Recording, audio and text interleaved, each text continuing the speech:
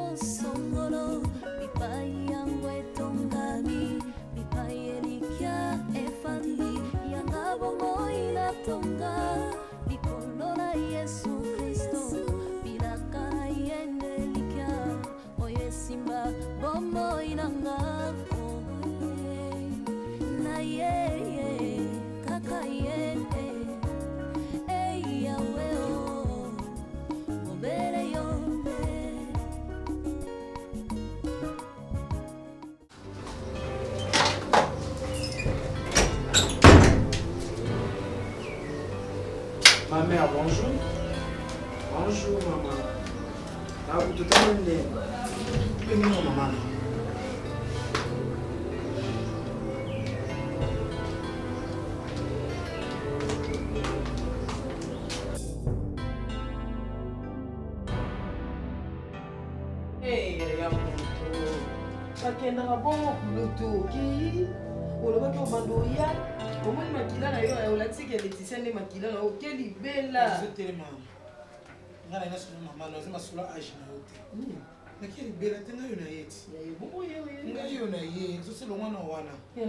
zosi eh, na diminue te ndenge nini matongi kuna mai pasi eh, kulutu nga napekisaki yo nalobaki tovanda na biso awa yo ozomesana na vie ya mont fleri yaya moni ngai mpo nake kovanda na commune mosusu ekosemble ngai no difficile mpo nasabitue biso a ah, mai na chambre no ezali na dushe okoti boye mai eza dushe ya bapaya libanda meme a ah, toza na biso na vie mo boye bavo atonga lupangu na ye bien bandako ne na confort yo loba ye matonge comme kuna ekomipesa bino mpasi problème mai toteka yango toteki yango tobongisi susu esika mosusu ya biso ya kinkolo balakisa biso paleki oui wana olingi olobaka nga nini kasi toteki lupongo ya nini lupongo ya matongi etekama te oyo nde ezotekama poni likambo ngai na ye awa tosola na yo toza na nsima te towana liboso te toyaka biso mibale toteka lupango oyo ya mont fleuri oyo tokabola mbongo yo ozwi ya yo nga mpe nazwi yanga moto ndosala makambosombala koza na posa kinkole leo na leo tozaka ngana twana motu te yaya so tobandi ndeti makambo otekama mapango eza problème te tobandi oteka ya matonge toteki ya matonge yoka yo mokolo papa akendaka kozwa yo mama no ayaka no yadela mpe makambo akorapele namatonge kuna nkombo no ezalaka to nayalemba otanga testamentrol mpo matonge te mimi papa ntango akendaki kozwa yo ayaka na yo awa na mon fleur ayaka na matonge te mimi koliko komplike ngai te oyo oh, ngai alobi yango wana oza na likambo kobakisa te tozoteka awa yo ozwi mbongo na yo ngai nazwi yango nozwi baflana lokola propose kikolo kesonga na kikolo na mbongo yo otalanga boye nini Jusqu'à présent yaya na reconnaitre te idée nini? Comment tu connais ça là? Te awa eza makambo na biso mibale ba. Bon mwana okutana na boyini. Mais mwana o reconnaître yo te yango otala obonga okama. Ya de la paix. Na yebi te nzela nanu ya. Oyo reconnaître ngai te. Ya pardon limbisa nga non. Limbisa nga non, oyi non ndima te ke yo moto oloba na makambo. Ah bon? Lelo ningo rappeler nga ke na mwana balokota. Oh. mais yo moto okoloba na nga te ozwi nga bomwana obokoli nganakoli eh, na misu na yosoki probleme eza toyoki nga na sango ya mabe oh. tovandi ezali komasanga mabe te bato nyonso soki bafanda esika moko banda bomwana ntango bakomi kokola esenga kokabwana ndenge letisi atelemeli yo kuna kaka bolobi makambo bino eh, bokokaki koloba biloko ya papa na testama alobaki ke eloko ya bavon etekama te bana na ye eloko yaya nga na telemeli molingonga na telemeli molingo mwa oya na baseparation ngai na bandi bademarche naoyo bakomissionnaire ekosimba yango te soki tobanda oteka biloko ya bavoi fo tobanda nao matonge koteka comment fait-il yo yela ngai oyela nga na baprincipe na balogique no nini ke na ya matonge nga nazaotelemi yaya limbisa mimi nayebisi yo prépare toi ah. bana kotina bacommissionnaire balukela yango esika po ntango ezotekama directement osombi esika lopo mbongo mabele ezongaka na mabele yango wana yaya natelemeli molimo wana soki mwana no motaki okoti omo makanisi ya mabe wana natelemeli yango kulu oyo oh, yana ngai eza eloko moko ekoti ye eloko ekoti ngai te Et yo ngolo bani yo oza na droit nini na lupango kanga monoko na yo kasi oke mama mobali bali saeti longo mpe mama na tuli facebook ezali ah, poste photo ya mama naloba ma mama cherche le mari oyoki yo zongo repondre ngai olingo osala guerre na nga wana makasi ya osala guerre na nga nabutu mpe na moi oza na makasi oza na makasi otelemaka na butu otelemaka mpe na moimitika luka bacommissionnaire osambisaka te luka bacommissionnaire soki okosomba na njili soki okosomba na kingasani na suka soki okende o oh, siforco soki wapi yokaka banda kotunaka kobetola mwana na yo akoki kokabola biso te makila eza mpa na yo yango eza epa na nga mpo nga nayebi moto akotisi yaya makambo eza mwana ye letisia letisia kotambolaka na molimo lokola tata na ye tata na ye kuna mpe atelemaka kaka bateka lupango soki ya de la pe te mai lelo tata na ye batelengana libanda aza na semence ya kota fami ya tata na ye botaki alobota na ye nyonso nga mpe nakomi ofingama lelo mpo parceke naza na tata malonga te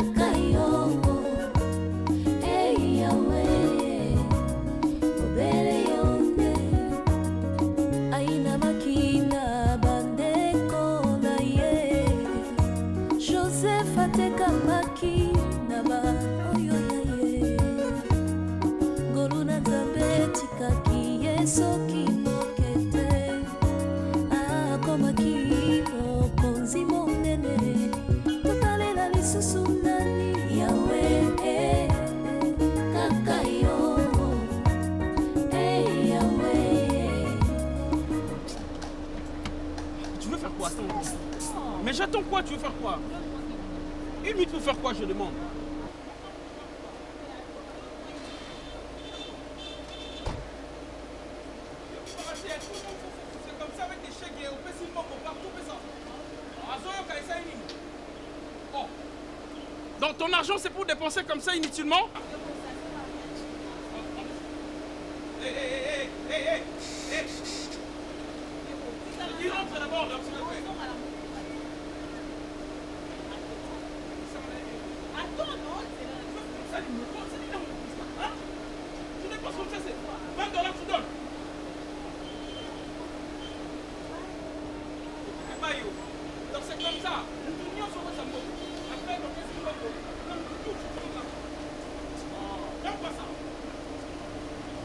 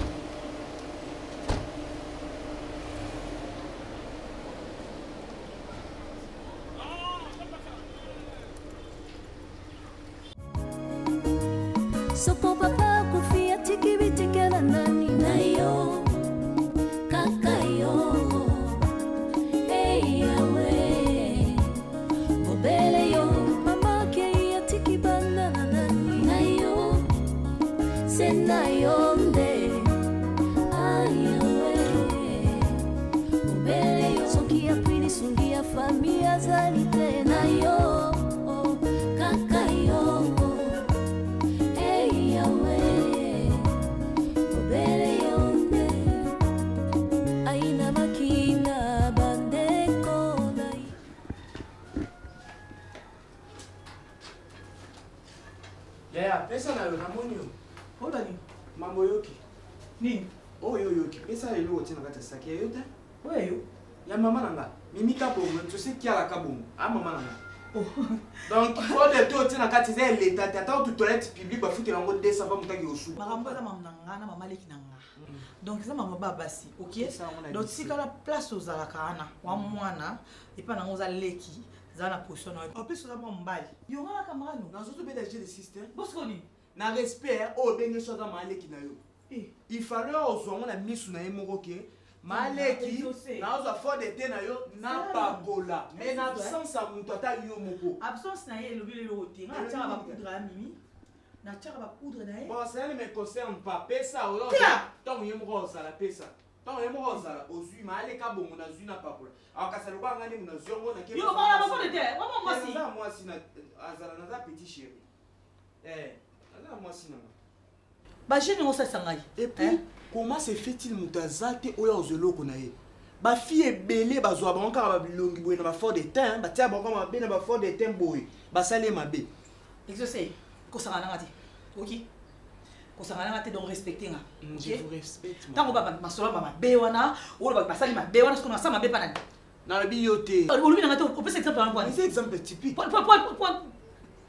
oza naye na fo de tene elongo soki epakola ngo na poko oke feti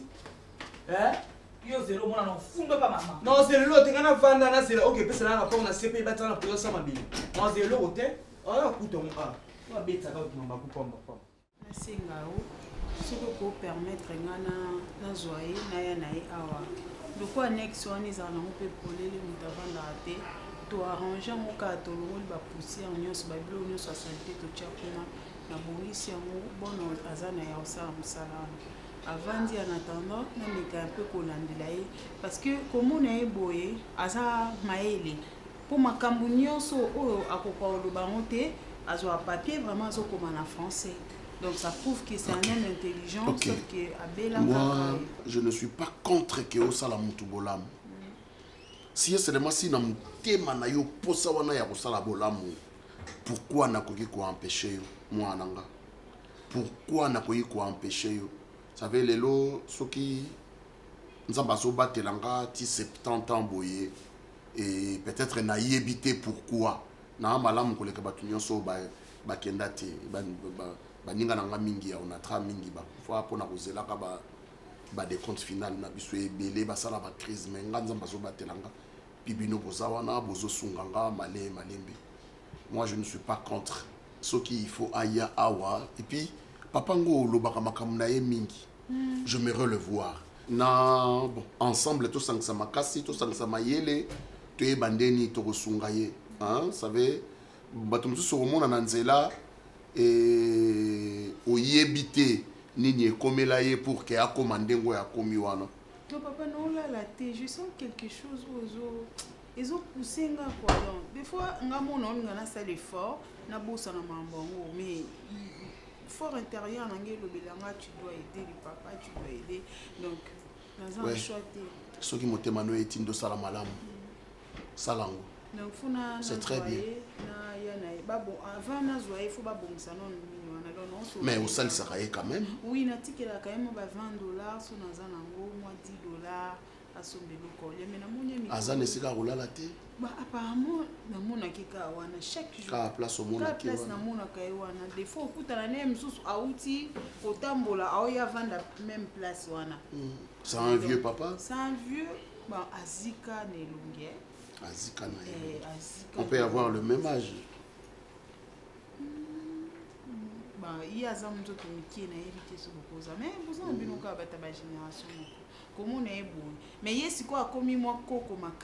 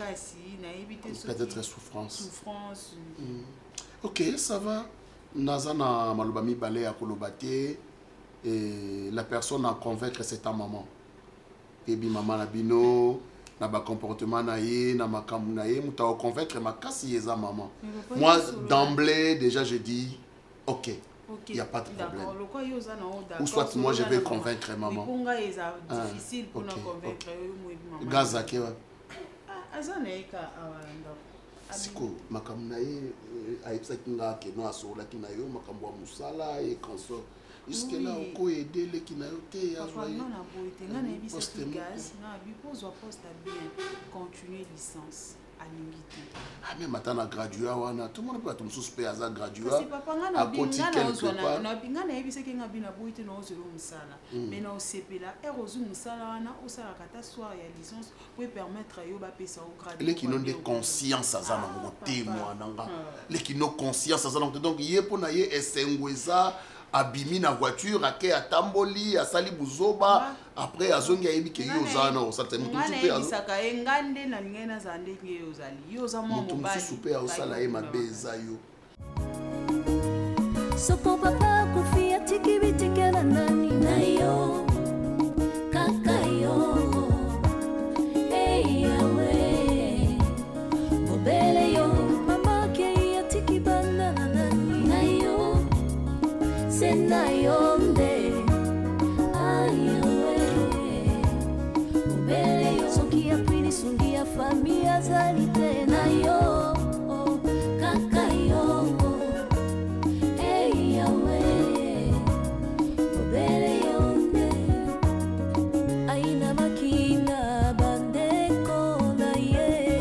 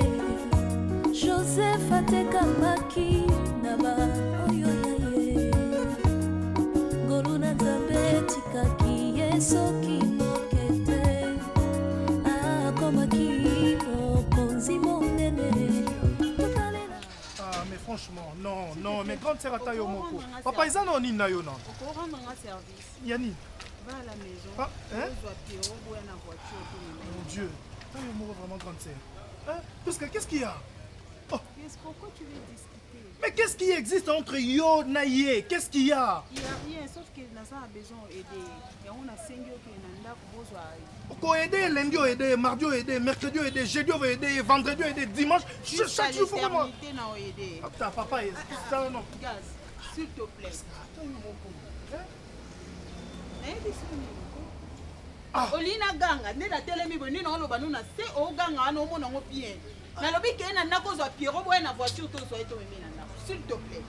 sala oyo nalobi ne discute pas kobakisa esusu eloko te c'est bon ok ah.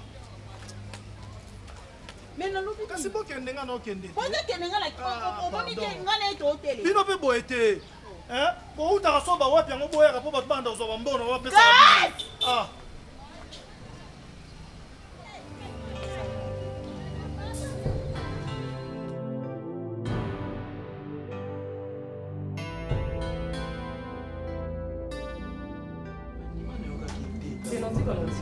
soki akanisi ondira akangi bacompte mpo nga na ndima toteka lopango ya bavon bavon lere azokufa atikaki maloba te ke yanga bana bakabwana ndenge yaya azolinga kota na baje ya leticia akoma est ce que yaya mpenza ti tovanda awa exauce ozala mwana moke omoni yaya azalaka na ide otekaka biloko ya bavon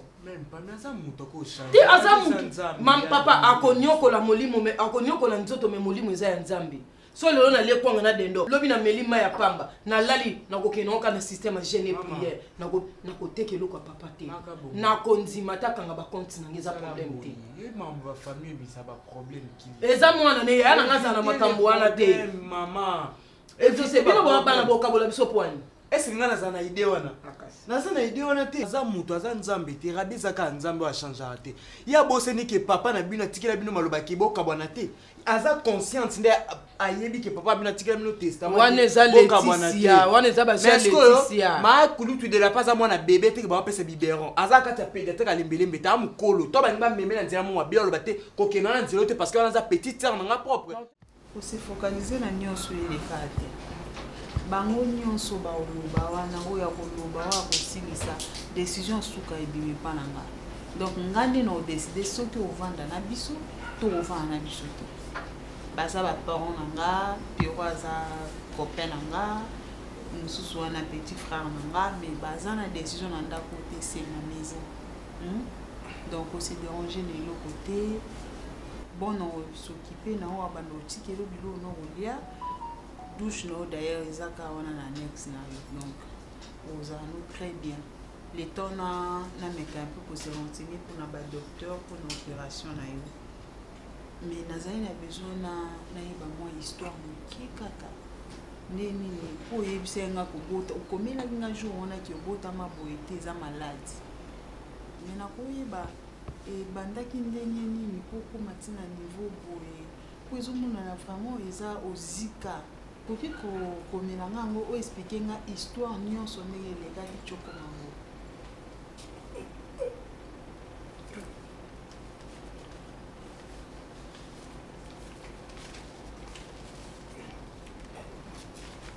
okomawa na kati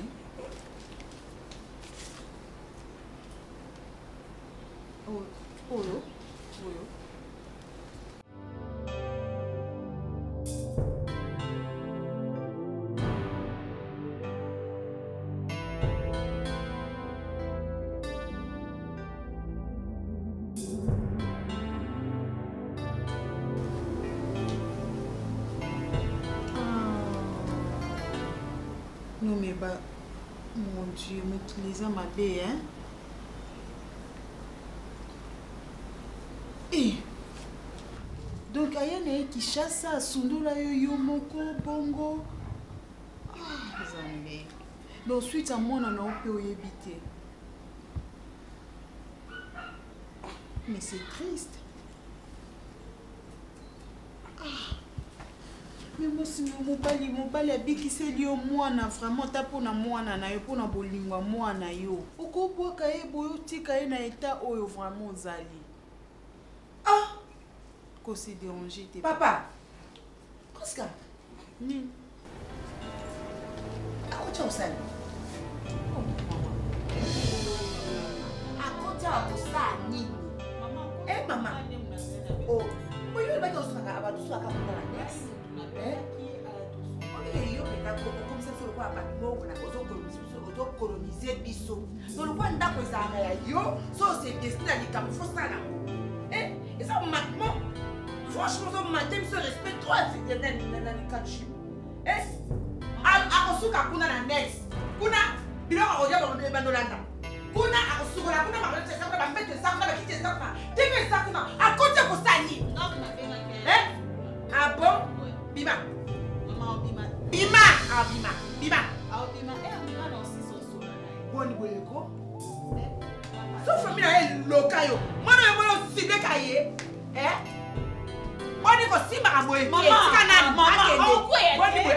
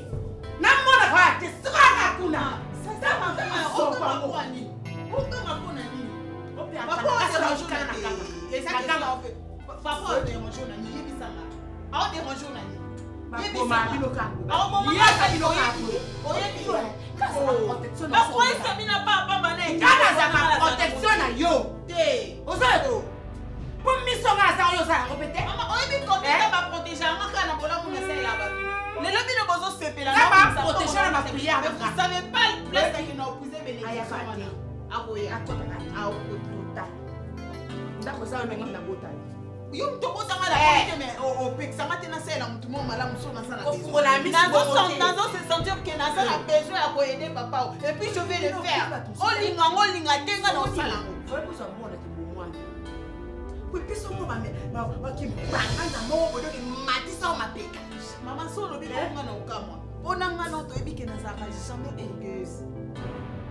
soki mwana aotosaazaa makasi namikitisaka makasi oyebi yango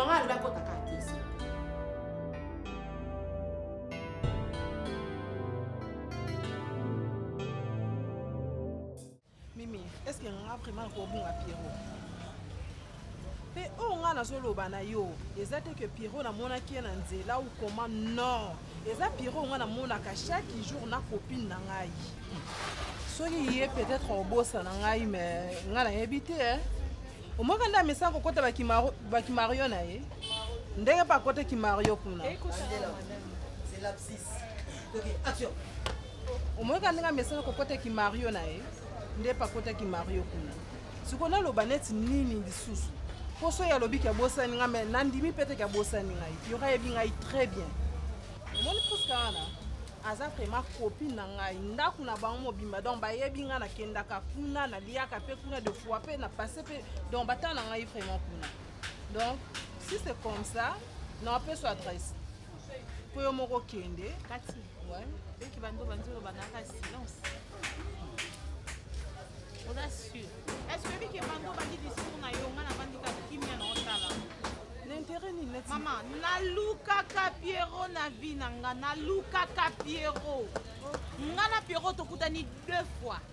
piero akima nga bambangu mbala moko kuta limwa nga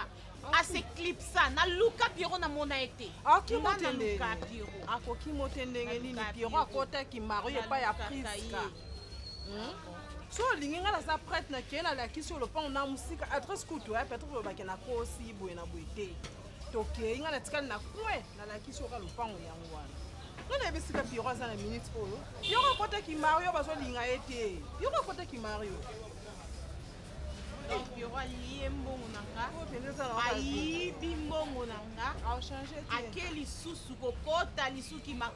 wame ezanga piro nalaka piro piro ozongisa mbongo na nga jusqu'au dernier centime piro olia ata 1 dollar atikala ata na 1 centime na nga te Nazo ndima te nazo kamwa. Papa na nde nazala na ya nanga ekomosanga na motema pasi.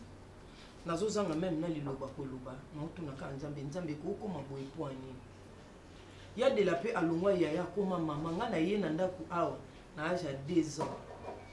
Ya de la paix banzo bokola nga nakoli na education na ye. Lelo maloba mosusu ya nanga koma olobela nga mwana makangu. yanga mama babala ye ya yo mama babala te ceci cela wana eza déjà bale passé mais koteka biloko ya bavon nde en tout cas esimba te papa biloko mosusu ekamwisa nga meme bafamille ya papa baotikala koloba te ke likambo ke bana oyo bateka tokabola ide wana ekouta nga papa avakufa likambo pase ale mosusu nalobango meme mpa na famille ya papa papa abenga nga